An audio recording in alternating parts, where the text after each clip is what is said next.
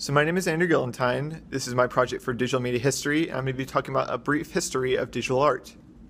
In this presentation, we're going to go over three different kinds of digital art. The first being pixel art, the second being cel shading, and the third, finally, being CGI or computer generated imagery. In the field of digital art, there is a lot of history behind the many aspects, such as when and where it began, how it became popularized, and many prime examples as to where this art style is used in the media. We're going to be talking about that in these three forms. So first going into pixel art, we can compare pointillism to pixel art. Pointillism being using dots of color to represent a painting rather than strokes and lines. However, the first true example of pixel art was created with Richard Shoup's SuperPaint software.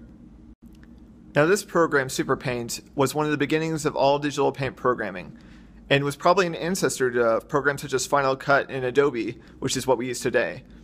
Richard Shoup, as pictured on the left, along with his partner Alvy, pictured on the right, were one of the first to use SuperPaint, in which Alvy turned pictures of his girlfriend in episodes of Star Trek into psych- psychedelic spectacles. Now let's go into some of the retro examples of pixel art. Pixel art in video games, more specifically, rose in the late 70s and early 80s with arcade cabinets and home video game consoles like the Atari. Some examples of the most influential pixel games are Pong, Space Invaders, Pac Man, Donkey Kong, and Super Mario Bros. While slowly rising in complexity as far as story and objective go, it's not necessarily due to the abstraction of pixel art. Mentioned in Simon Cody's pixel art documentary, the more specifically you draw something, the less likely people relate to it.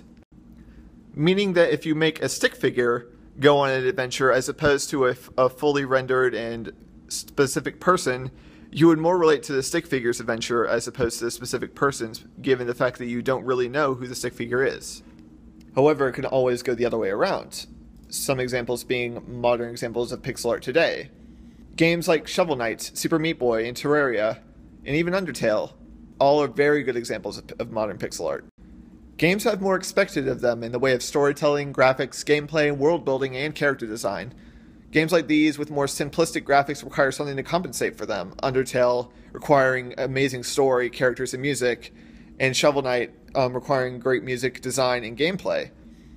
Even though pixel art was more limited in the 80s, today pixel art can have many more colors, and developers are only limited their imagination and artistic choices as opposed to the medium itself. Next, let's go into the history of cel shading. Cel shading is similar to 3D, using less colors and thicker outlines instead of gradients, and causing art to walk a metaphorical line between second and third dimension. The origin of cel shading isn't really specific, but as far as a full engine and not simply drawn goes, the first would be Jet Set Radio on the Sega Dreamcast in 2000. This art form would go to pave the way of many future games. Some of the early examples of cel shading include, but aren't limited to, Pokemon during the DS era, the Tales of series, and also The Legend of Zelda Wind Waker. Cel shading has become a lot more prevalent in the modern age, with games like Borderlands, all the Telltale games, Catherine, and even Ni no Kuni. Cel shading is my personal favorite art style, and it's come a long way over the years. And finally, we're going to go into the history of computer generated imagery. While some art styles stay standard, others have to evolve over time and become more realistic.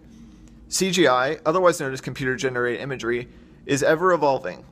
Russian scientists, under the leadership of N. Konstantinov in 1968, made a mathematical model for which to animate a cat moving along a screen, shown in the right. This was then used to program a special computer to produce hundreds of frames and convert those frames into film. This first creation was the building material for the next few decades as CGI was used in the media. Now, a lot of these films became very popular because of their use of CGI. 3D, 3D CGI was first used in the movie Futureworld, that shows a robotic face being removed from the head on the left. George Lucas implemented CGI in his movie Star Wars A New Hope by merging it with green screen and other film methods with its use in animating a wireframe of the Death Star. Later, in 1993, Jurassic Park used CGI to create full textured dinosaurs, which looked astonishing at the time. Many more films use computer generated imagery, but the first full length CGI film, Pixar's Toy Story 1995, led the charge in 3D animation. Other movies like The Matrix and Titanic used it as well to create breathtaking scenes. All this was only the beginning for 3D CGI because in the 21st century the industry spiked in popularity. And now some modern examples of CGI. The 21st century, many milestones were reached in making CGI look better and better.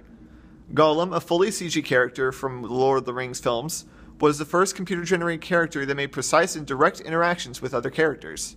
Later, in 2004, the first fully motion captured CGI film, The Polar Express, was released. Later in 2009, Avatar took the motion capture technique and enhanced its effects to a level of extreme realism in capturing specific facial movements.